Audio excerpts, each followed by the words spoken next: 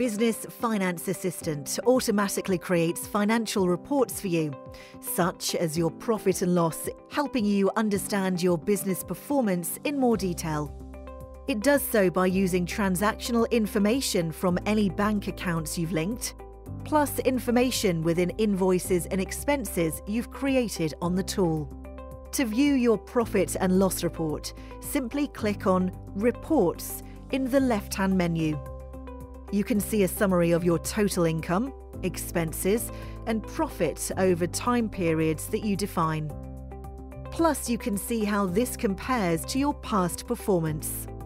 To adjust the time period, simply select the drop-down menu and choose a period that you want to look at. You also have the option to include or exclude unreviewed transactions.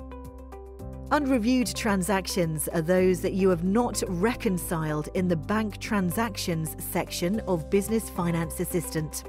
If you are unsure about this feature, we have a separate how to guide on how to reconcile bank transactions.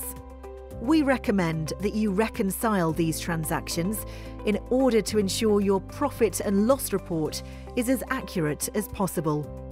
To view your profit and loss in more detail, simply click on any of the categories on the summary widget and you will see a breakdown for each category. Alternatively, click on the Profit and Loss button under the Accounting Reports widget. You can also invite your accountant to view this report by clicking on Your Profile, Manage Users, Invite User. Then fill in the details and select access level as accountant.